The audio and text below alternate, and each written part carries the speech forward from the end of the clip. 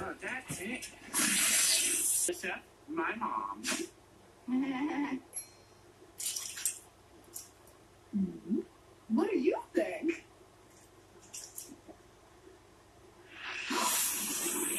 Suddenly remember, in Munich, I tasted a casserole made by the mad sculptor Warwick Zeiner.